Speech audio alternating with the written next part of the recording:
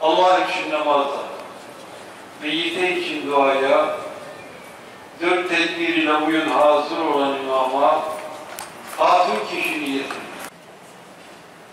Allahu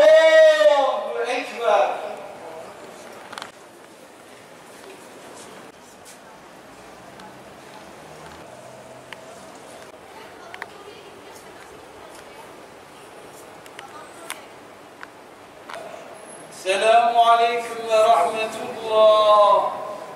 Selamu Aleyküm ve Rahmetullah.